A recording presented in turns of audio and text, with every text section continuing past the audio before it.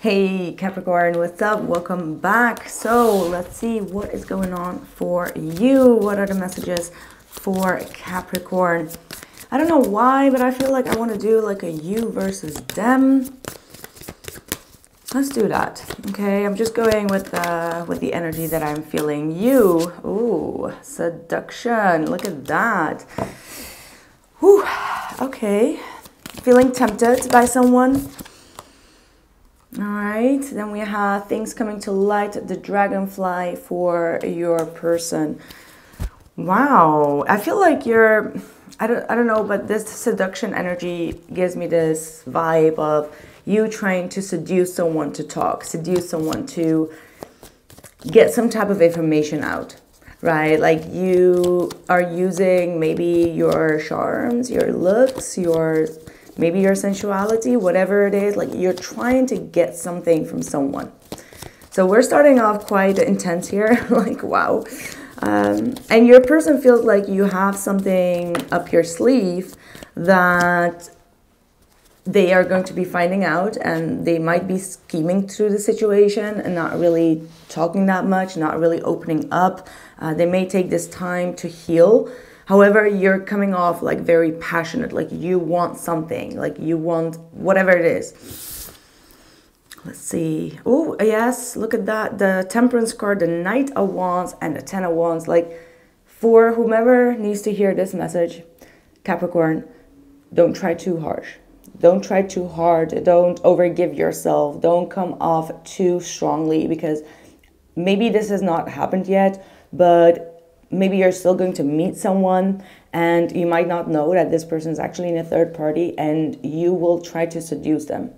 Okay, and uh, with that Knight of Wands is like way overly passionate and wanting too much at the same time, having too much energy to give to this person. However, the Temperance card is here saying, you gotta chill out. All right, the temperance card is here telling you, like, hey, everything needs to be in balance, a little bit of this, a little bit of that.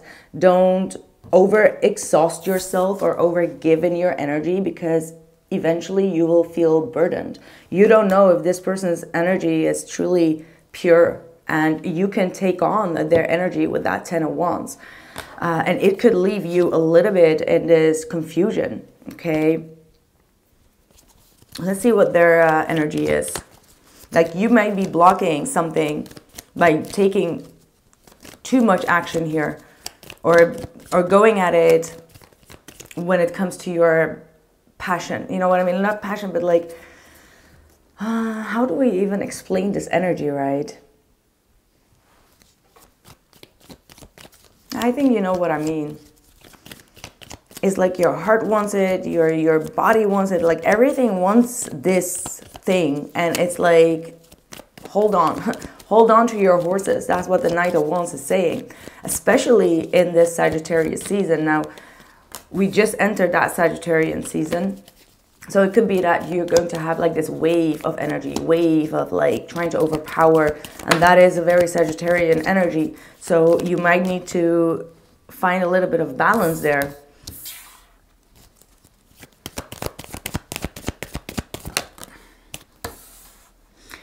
you might be dealing with someone that is like has recently ended a relationship. They are going through a transformation. They're going through some type of ending here. Oh it's getting super light outside. Sorry. Um, okay then we're doing like that. This person has just recently gotten out of a relationship and they're taking things slow. So they may feel like you're coming off way too strongly on them. So i may i may want to suggest you to take it a little bit slow when it comes to this person. Um, yeah they're still in the in the process of finding things out in regards to their past relationship so if you try to seduce them in any type of way or shape or form, they may feel like they need to put the blocks on it because they're still kind of like in the process of understanding what has happened in their past relationship. okay, let's see what more.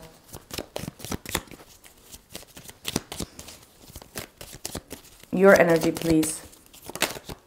Yeah, you're a lot of messages. You will find yourself in a space where you feel like you need to take action, you need to communicate, you need to talk, and sending way too many messages here.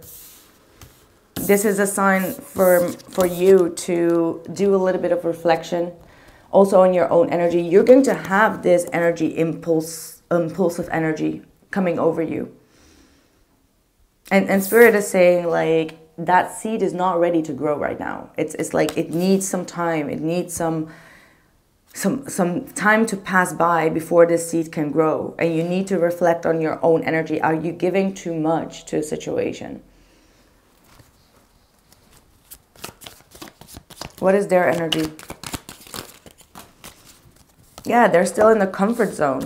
See that's what i'm saying like they are in a space of self-care and self-love. Like they want to put that focus on themselves and they feel like they need to kind of like be alone with their spirit guides or pray or just find some type of enlightenment through their ancestors or their angels or whatever it is.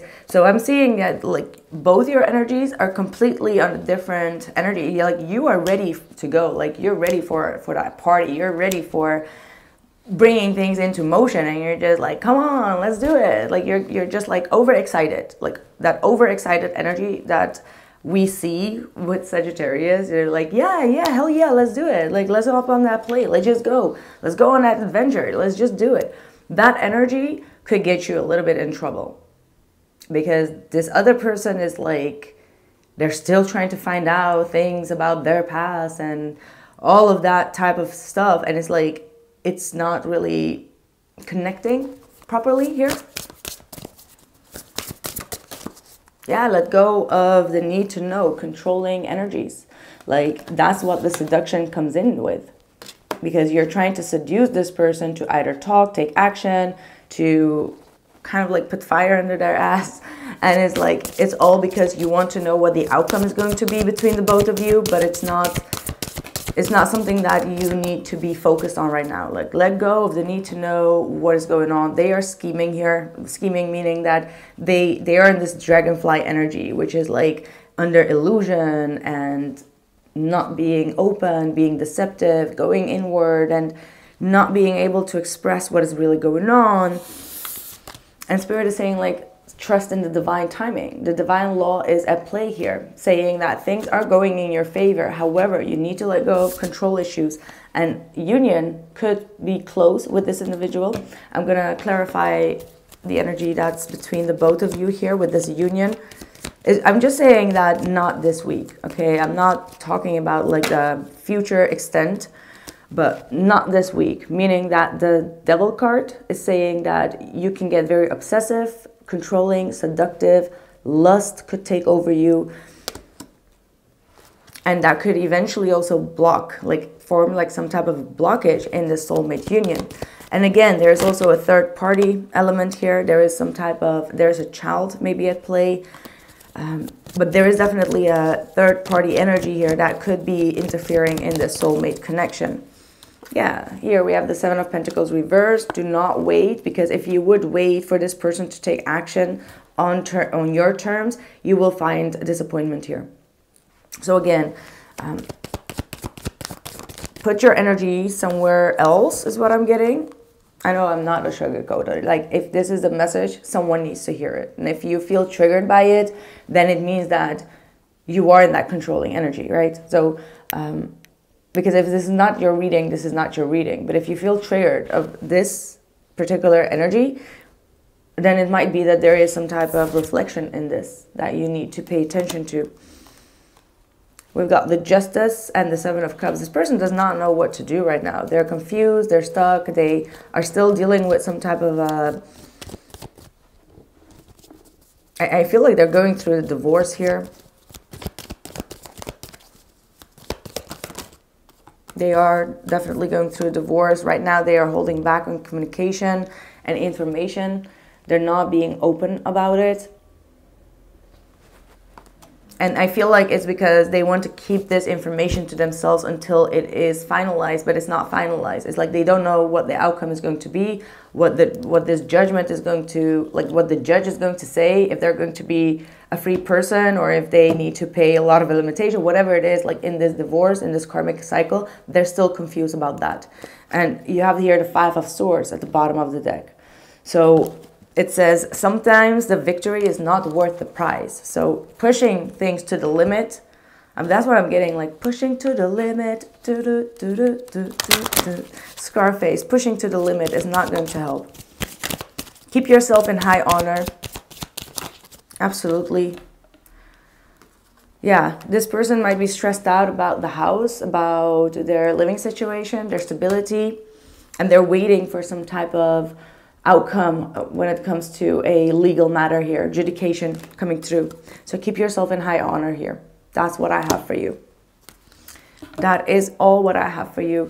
Uh, that was a specific message. Again, if the title does not resonate, then it's probably not your reading. But yeah, that's what I have. Take care of yourself.